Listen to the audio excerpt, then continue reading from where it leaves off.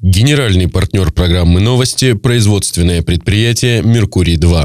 Доступные квартиры в комплексе «Кавказ» от надежного застройщика «Меркурий-2» в курортном районе Анапы. Детские и спортивные площадки, автопарковка, квартиры с видом на море, рассрочка оплаты. Срок сдачи первой очереди – четвертый квартал 2016 года. Звоните 48 300.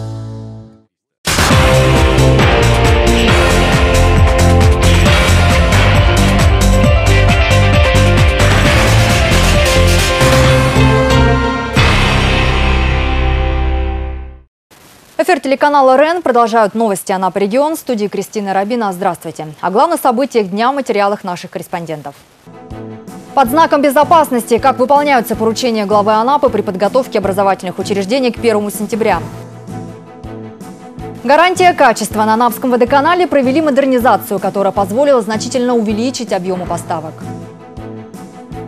Подарок начала учебного года. В спорткомплексе «Виктория» в этом году откроется отремонтированный бассейн. Сегодня президент России Владимир Путин на заседании Госсовета поручил разработать стратегию развития санаторно-курортного комплекса. Цитирую. Необходимость развития курортов не исчерпывается их социальной значимостью. Они могут стать основой для роста экономики, развития транспортной инфраструктуры, отметил президент. Сегодня в России действует 1875 санаторно-курортных организаций. Уникальная природа, эффективное лечение, современные методики наших курортов – это колоссальная база для повышения их конкурентоспособности, для того, чтобы они были востребованы и российскими гражданами, и зарубежными гостями. На восстановление и модернизацию санаториев по всей стране необходимо около 37 миллиардов рублей. Стратегию развития санаторно-курортного комплекса правительство Российской Федерации должно подготовить до марта следующего года. Путин также заявил о необходимости создать реестр курортных зон и ввести звездность для санаториев по примеру отелей. В свою очередь губернатор Кубани предложил передать пляжи Краснодарского края в муниципальную собственность. Вениамин Кондратьев отметил, что сейчас часть из них находится в ведении Федерации. Это не позволяет местным властям на должном уровне благоустраивать пляжи, что снижает инвестиционное и туристическое развитие края. Цитирую, невозможно в Москве заключать договор на аренду пляжей и контролировать, что делает арендатор. Пусть они тогда приезжают из Москвы и смотрят, есть там мусор или нет. В противном случае, как можно спрашивать с главы муниципального образования чистоту пляжей, если арендатор на него вообще внимания не обращает, подчеркнул Кондратьев. Сегодня на Кубани функционирует почти 500 пляжей, из которых пятая часть детские. Суммарная протяженность пляжей Азово-Черноморского побережья края составляет около 100 километров. По итогам прошлого года каждый четвертый житель страны, проходивший лечение в санатории, оздоровился именно на Кубани. На Совете безопасности, который состоялся накануне, глава Анапы поставил задачу. Учебный год должен пройти под знаком безопасности. Но под неусыпным наблюдением должны находиться не только общеобразовательные школы.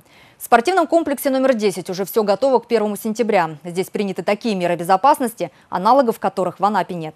Рабочий день директора детской спортивной школы Нины Филофеевой начинается с активации смартфона. Благодаря новой системе видеонаблюдения она может наблюдать за порядком на своем рабочем объекте круглосуточно в онлайн-режиме из любого места, где есть интернет. Первое, на что я трачу все наши внебюджетные и бюджетные деньги, это в первую очередь на безопасность, потому что на э, территории моего спорткомплекса, нашего спорткомплекса, проходит очень много спортивных мероприятий краевого, городского, всероссийского уровня. И даже уже мы в этом году провели международного уровня трое у нас было соревнований. Естественно, что э, посещаемость людей возрастает.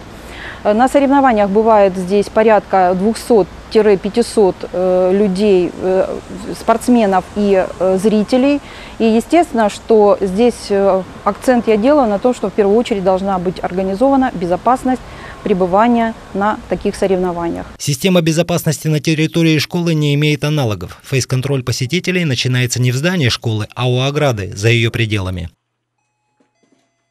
За прилегающей территорией наблюдают 12 камер видеонаблюдения. Каждый квадратный метр спортивного объекта просматривается охранником-оператором частного охранного агентства, который не просто аккредитован и сертифицирован, но и имеет большой опыт работы. Это очень удобно. Помимо этого мы еще каждые два часа делаем обходы территории, чтобы визуально наблюдать ситуацию на подконтрольной территории. После входа посетителя на спортивный объект за дело берется администратор комплекса. Он выясняет цель визита, проводит регистрацию и сопровождает гостя на необходимую точку объекта. Также администратор следит за противопожарной сигнализацией ПАК «Стрелец Мониторинг», которая полностью автоматизирована и в случае задымления или возгорания передает сигнал на пульт пожарной части. Отследить возможный очаг возгорания также позволяет система видеонаблюдения. Внутри школы расположено почти три десятка цифровых видеокамер, а особая красная тревожная кнопка активирует работу оперативных служб по первому сигналу. 29 камер было установлено в холле, в спортивных залах, в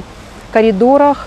И это помогает нам вывести картинку не только по периметру, что происходит на территории, но и также, что происходит у нас внутри помещения. Охранник на выведенном экране наблюдает все картинки. И также мы сделали выход через интернет. Все эти видеонаблюдения с видеокамер – я как директор образовательного учреждения могу видеть на своем смартфоне в любой точке. По ее словам, родители, которые впервые приводят своих детей на занятия, поражены такими мерами безопасности. Но все сходятся в едином мнении. Такие меры не просто нужны, они необходимы. Оставляя своих детей на тренировке, можно быть уверенным. Юные спортсмены не только под присмотром опытного тренерского состава, но и под контролем современных технических средств. Новый учебный год спортивная школа «Виктория» встречает с большими надеждами. Быстро пролетят первые месяцы осени, и к 1 ноября точка в грандиозном ремонте бассейна будет поставлена. Сложные строительно-монтажные работы и современное оборудование продлят жизнь спортивному объекту еще на 15 лет, уверено руководство образовательного учреждения. Надежно и надолго. Ремонт бассейна в спортивной школе «Виктория» не останавливается ни на день. Работа идет по намеченному графику, несмотря на то, что в процессе демонтажа старой обшивки и оборудования вскрылись другие серьезные проблемы. На сегодняшний день чаша бассейна почти готова. У нас гидроизоляция, залиты стяжки все, сделана штукатурка залиты лотки переливные. Это самое важное, основное сделано. После этого будет гидроизоляция идти. И в начале сентября начинаем выкладывать плитку. Объект очень старый, возникло много непредвиденных у нас проблем. Э, э, оказалось, что обходные дорожки, плиты перекрытия вышли из строя, демонтировали их. Много вопросов по оборудованию, потому что все должно прийти вовремя. Заказы издалека у нас – Большая часть преобразований будет скрыта от глаз обывателей. Полной замене подлежат коммуникации, прогнившие от многолетней эксплуатации, системы гидроизоляции, водоподготовки и перелива воды. Последнее особенно ценно, подчеркивает руководитель учреждения. Это позволит нам экономить огромное количество воды. До 150 кубометров воды мы э, теряли э, ежедневно э, при старой системе, когда вода от перелива уходила в канализацию просто. Сейчас она будет аккумулироваться в специальных баках, будет э, фильтроваться, дополнительно закуплены фильтры, э, дополнительно устанавливаем насосы, и вода будет снова поступать э, в чашу. То есть это замкнутый, полностью замкнутый цикл. Это экономит как воду, так и э, химреагенты. Заказанное оборудование – предмет особой гордости. Начинка бассейна, что называется по последнему слову техники. Умные фильтры для воды, для очистки дна современный робот-пылесос. Состояние воды будет контролировать автоматизированная система. Вот эта вот станция дозирования, она самая современная станция дозирования. Здесь э, два датчика, э, значит, которые показывают остаточный хлор, связанный хлор и э, такой есть показатель pH, щелочная среда или не щелочная среда э, в бассейне. Вот от работы вот, станции дозирования зависит расходование химреагентов.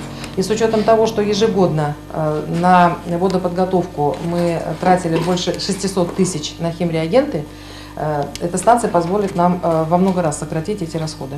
Как это обычно бывает, когда идет большой ремонт, мириться со старым и неопрятным не хочется. Стены уложат новой плиткой, наведут технологический и косметический порядок в раздевалках. Совсем скоро 25-метровый красавец-бассейн наполнят до краев водой. На реконструкцию уйдет более 10 миллионов рублей. Яркий пример государственно-частного партнерства. Львиную часть средств муниципалитету дал инвестор – Абинский металлургический завод.